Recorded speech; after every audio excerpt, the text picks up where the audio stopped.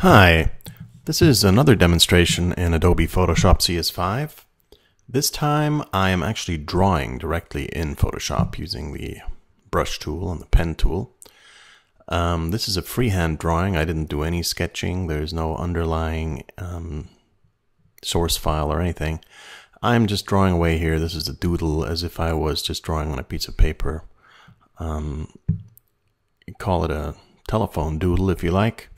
Um, of course, I know in my mind what I'm going to draw roughly. Uh, I want to draw a fuzzy little bird with uh, sharp teeth and um, just a funny little character sitting on a branch.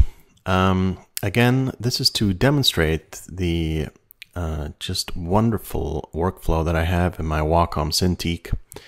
Um, I am drawing on here as if I had a piece of paper in front of me.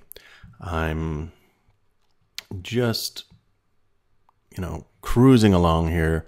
Wherever I set down my brush is right where the line appears. I can see it get thicker as I press down. I have a natural feeling in my hand.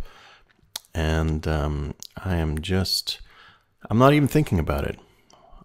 If I was using the uh, Wacom Intuos tablet, which I used to work with and which I sometimes still work with when I'm working with my laptop and I'm not in my studio at home, um, I can also do this, but I am looking at the monitor while my hand is moving on my lap or on the table on the board.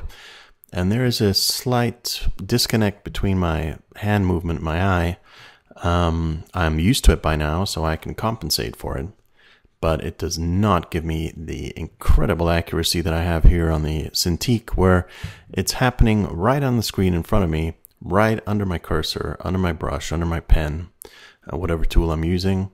Uh, you can see there I'm just pressing harder to make the branch thicker, just as I would with a real brush and ink. And I'm cross-hatching, um, writing in my own handwriting. It's just wonderful in Photoshop on a separate layer in black ink.